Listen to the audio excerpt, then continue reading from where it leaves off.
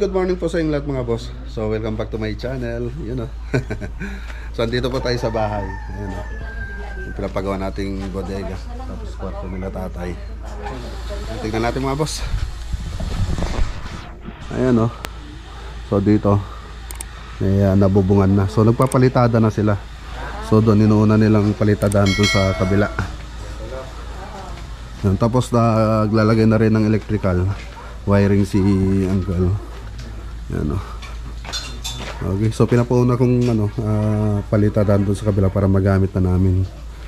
Magamit na namin kasi magsisimula na kami mag modular magpab magfabricate ng cabinet. Okay so dito susunod na lang natin ito. Tapos ito yung pinakalas yung kila tatay. Okay may insulation na rin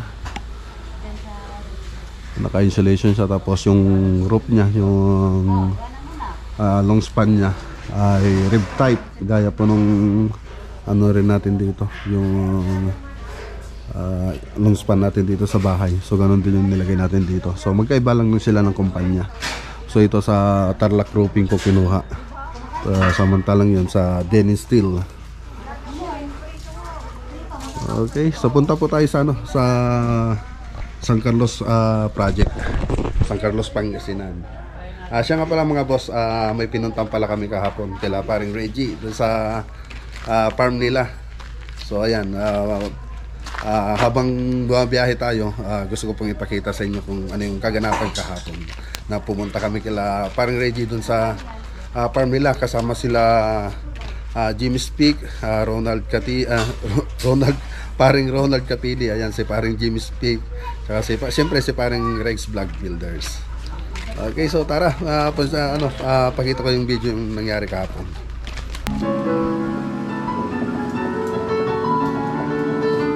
Yes.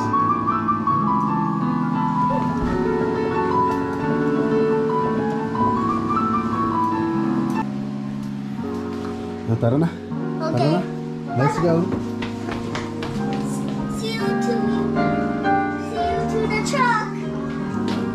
Na, Jason.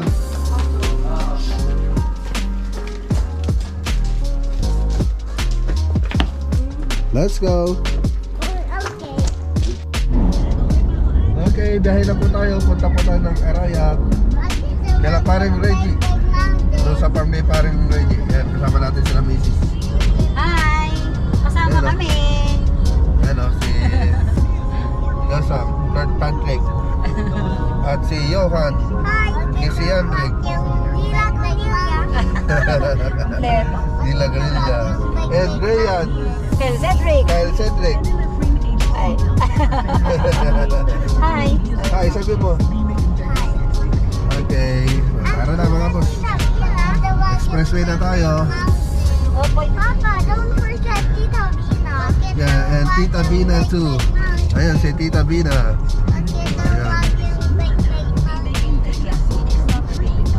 Ayan na.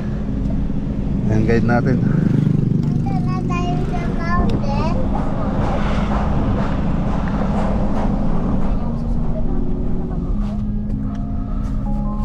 Ayun. Dito na pala yun. Ayun, oh, dito na tayo mga boss. Dito na tayo abot. Yes. Dito na tayo, ah, boss. Ay, wala na tayong ano. ah. Tara. Mas ma. Ma. Hindi na. Ito ko eh. Hindi na nga anak. Ayan o. Parang Reggie. Ayos. Galing kami ng ano? Galing. Daw. Oo. Dili ako. Nilagay ko dito. Oh, may dala ka pa ano ah. Oo, naglu nagluto si Mrs.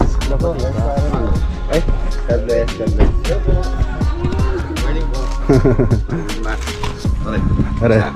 Ayan si parang Ronald. Banding ko ang family natin. sa farm ni G. Bless, tito. Mag-bless ka na, tito. Bless, bless. Bless, bless ka sa tito. Oh, yan oh.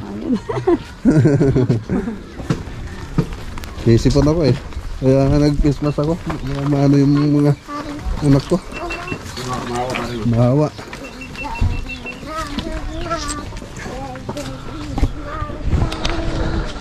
Ayun oh.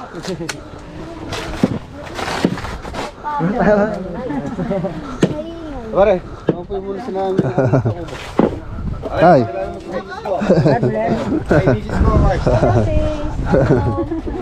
Hello.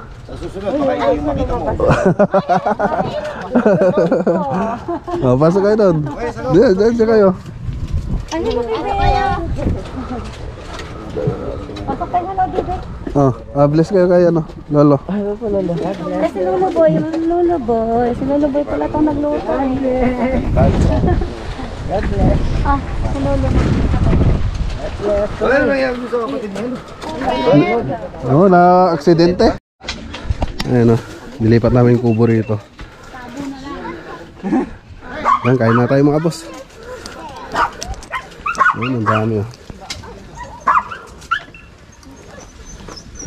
Ay, kala ko nagbibiro na sa padre. Nilipat talaga yung kubo eh.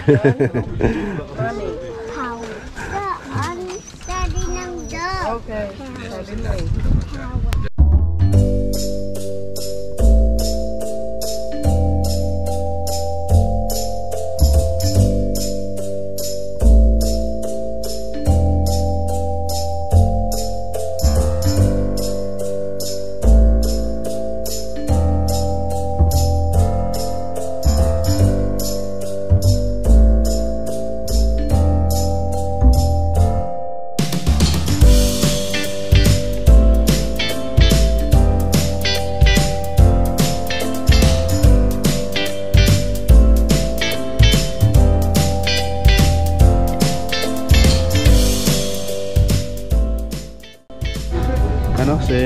Jimmy mga boss.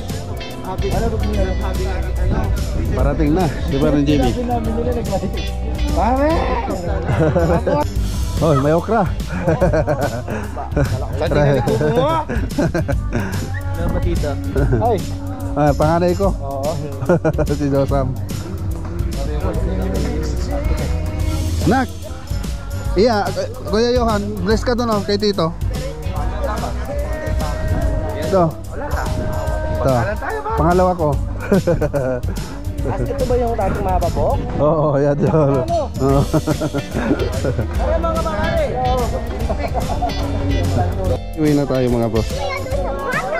Yan, so namasyal lang tayo rito. Sila parang sa farm nila. So tapos na rin yung ano natin, anong oras na.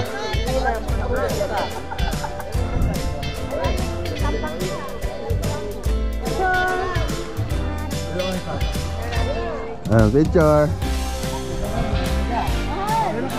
Yan. Asa ba? Sige, isa pa, isa pa, isa pa.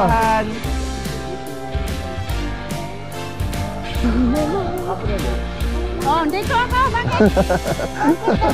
Backwards. Yeah, I'm backwarding.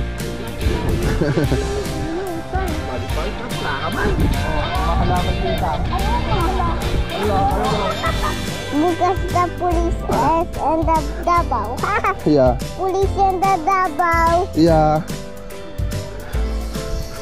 My favorite airplane is turning big. Yeah.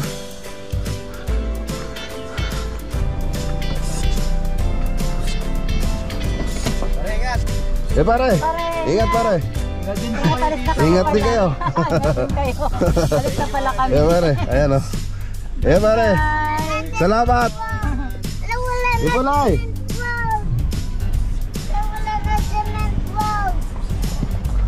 Okay, pauwi na tayo mga boss. Ano? the next day. Alima. Ano, bibili rin tayo ng pondo, flat lat, flat latex. Yung sa 100 dito, lima, di ba? Tapos sa 120, Sa wall yun, no? sa wolo. Ah, kahit, ah, kahit 20. Benteng 120 ko yan. Okay, thank you. Okay, so ito yung kinuha natin. So, isang timbang ano, ah, pondo, yung flat latex. 2,190. Tapos 20 na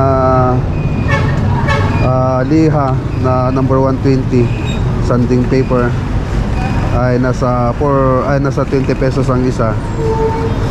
Tapos ah, 400 po 'yon. Tapos limang number 100 ah, 30 pesos ang isa. So 150. Tapos dalawang baby ruler, 90 po ang isa. So da, dalawang kinuha natin, 180. Isang galon na ah, Choco Brown ng Davis, 695. Dalawang ruler na number 7, B, ah, baby roller. Yan. Ah, 120, 240 po yung dalawa. Tapos dalawang steel brush, 75 po yung isa. So 150. Tapos dalawang paint brush na number 2.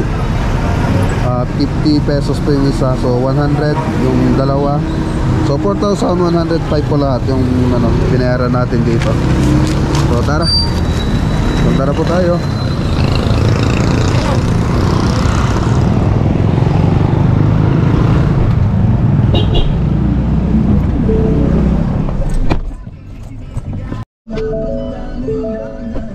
Okay, muna tayo dito kay Badinoli. So bigyan natin yung budget ng cabinet para mabili niya na yung mga materyales. So pwede na tayo mag-umpisa sa modular kitchen cabinet. Okay. Buds. Okay, dito na tayo mga boss. San Carlos Pangasinan Project. O, tignan nyo muna dyan ha. Okay, dito na tayo. So, tayo ulit ng mga gamit. So, may pagpintura na tayo rito. Tapos, kornisa. So, nagkulang sila sa kornisa. So, ayun, magbaba muna tayo.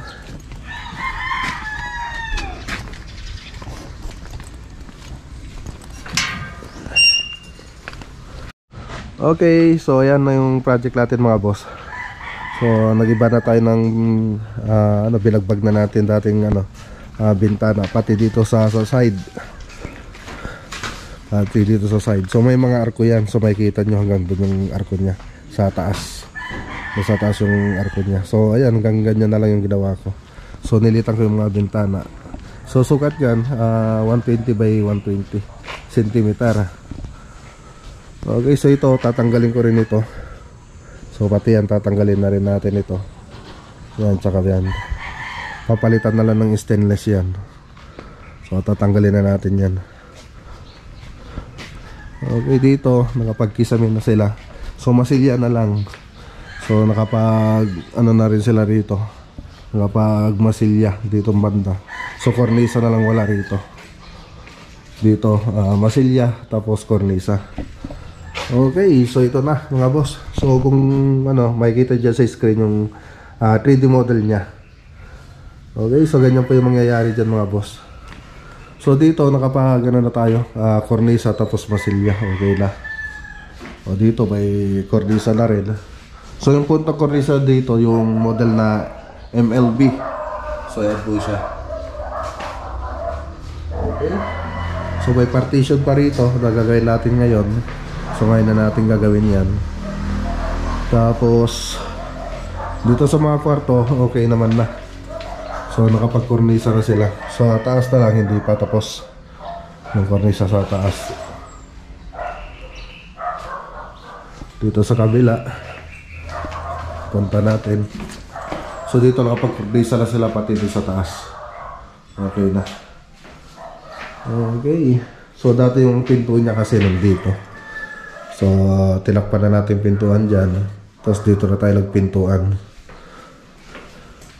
Okay na. Tapos may pintuan din dati doon. So tinanggal na rin natin. Tapos yung dating pintuan na nito, dati nandito sa kabila. Ngayon di, andito na siya. Tapos dito yung bintana dati. Ngayon nandun na. So nagkabaliktad na sila. Tapos nilakyan na rin natin mga bintana niya pahaba.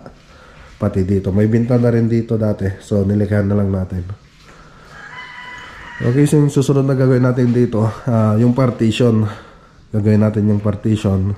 Tapos magki, ah, magpipintura na tayo sa kisame. Tapos susunod natin itong wall. Susunod na, na natin. Tapos ito, babagbagin na natin ito. Itong baluster niya.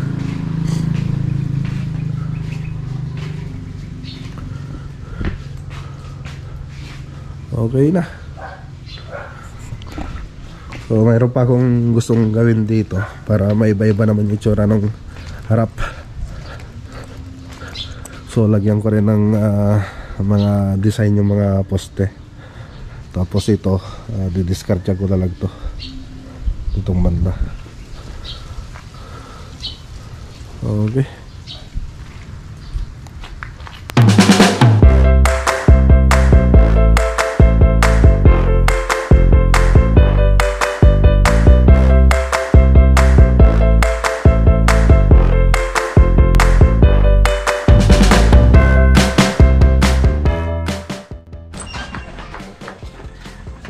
Okay, kain muna tayo mga boss. Ito itong sira dito na sinasabi ni Juan na reject. Ang reject to.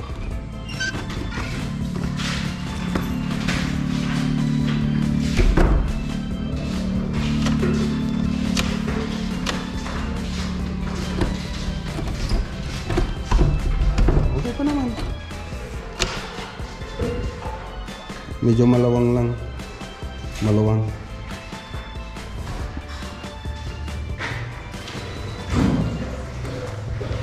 Alang, umangat na yung iba. O, palitan na rin siguro to. Hindi maganda yung pagkakagawa. Umangat na. Ano natuyo.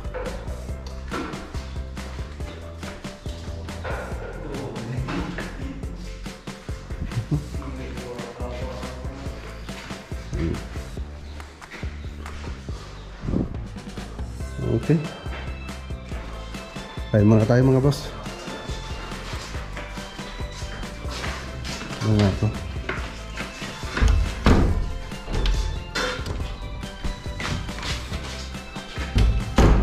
Maluluwang.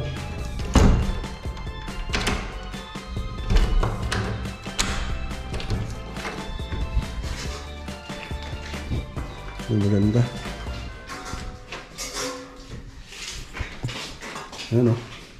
Ayan tayo.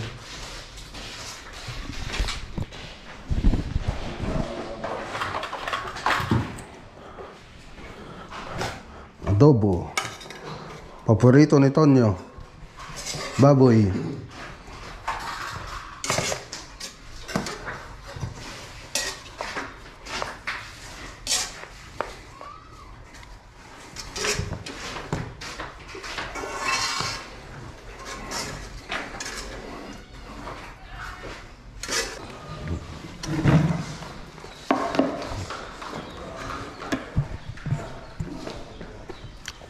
Gaya nung dat doon sa ano? Ano? Oo.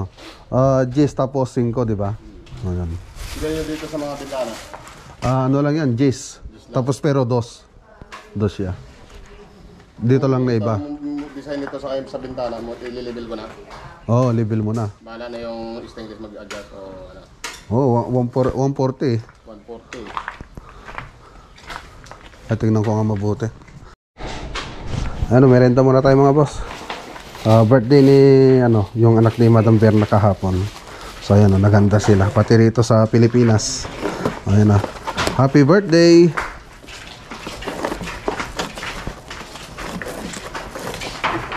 Pizza. Maglagay kayo, maglagay kayo ng kwan.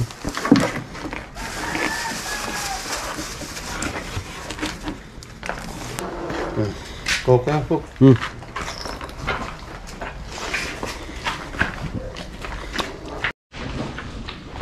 Okay. So ayan nakausap ko na rin sila madam tungkol dito. So lalagyan na rin namin ng bondura to. So ayan. So uh, tinawagan ko sila para magkaroon lang sila ng idea ko ng mga plano ko rito sa bahay nila bago natin gawin para hindi sila mabigla. So ayan, lalagyan natin boldura yan. Pati itong mga poste, lalagyan natin ng design. Tapos ito, dadagdagan natin yan. So hardiplex na lang ilalagay ko rito. Tapos mawala na yung mga kanto na yan. So plain na lang yan. Tapos ah, lalagyan ko pa na lang, na lang ng bagong design yan sa taas. Tapos ito, ah, hanapin muna namin yung ano kung saan nila binili itong bubong bago tayo ah, natin palitan. So gusto ko rin sanang palitan to, i-plain na lang ito. Alisin na itong pinaka-arko-arko niyan ganyan mga boss yung diamond niya nakikita niyo diyan. So ayan tatanggalin na yan. So hanapin muna namin ito sa binili yung bubong para mat sila nang ilalagay natin dito. So tapos ang isa pang mas maganda po sana dito ah, sa tingin ko noon dapat hindi nila uh, i-plain up ito. So kahit mas ma ano itong isa, mas ma ah, mas mailalim itong isa mga boss. Kahit umurong sana ito kaya ito yung umurong. Wag lang siya flat para may sayaw. May sayaw lang sana yung harap ng bahay nila. Hindi flat agad na nakikita. So mas maganda sana kung ganoon. Kaya lang hindi na natin magagawa magagawa natin 'yon ngayon kasi siyempre meron na tayong bubong dito. So marami nang matatanggal diyan pag gagawin natin 'yon. Okay. So yan lang sinabi ko lang naman dito para mas maganda sana kung gano'n yung nangyari. So ma ano naman natin to gaganda pa rin naman ito. Kaya lang limitado lang yung milalagay natin dito na ganda niya. So gagawin natin lahat para gumanda itong bahay.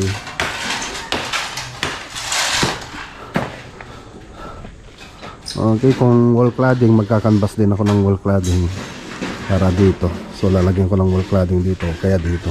Kung medyo mahal yung wall cladding, so hardiplex na lang ilalagay ko. Diyan, so designan ko lang siya ng hardiplex. Tapos pinturahan na lang natin. So canvas muna tayo. Kung kaya na ano, ta- tingin tayo kung ano yung mas maganda na makakatipid tayo. Okay. Tapos tatanggalin na rin yun. Sinabi ko nga kanina, tatanggalin na rin yun. Tapos ito. Tapos magda- magdadagdag tayo rito. So yung poste. So, siyempre may baluster tayo lalagay dito. Dire-diretso na yan dito. Ayan. So nahulog na kasi siya mga boss. So magdadagdag tayo rito. Tapos tiles, papalitan natin pati doon sa ah, dito sa salas papalitan na rin natin. Dito sa kwarto, ah, pag-isipan pa natin kung papalitan. Okay.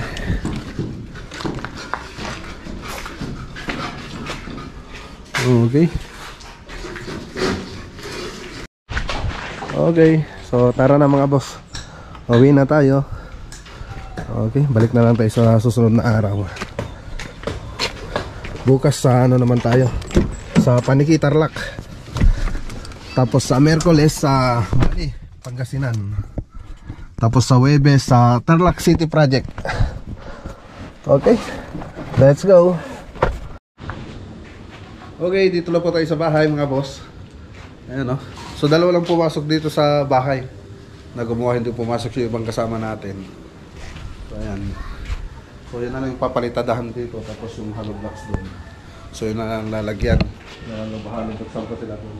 Tapos palitadahan. Ah, tapos ah, gawa muna tayo rito ng ano, ah, cabinet.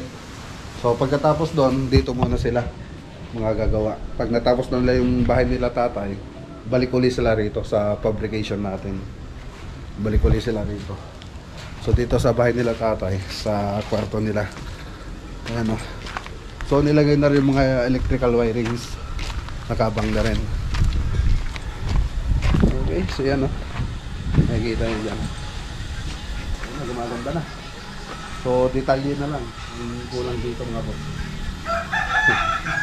Okay, so yan po mga boss yung vlog for today po natin. Ah, syempre, kita-kita ulit tayo bukas. Ah, maraming salamat po nga po nga po pala sa mga laging sumusubaybay sa ating channel.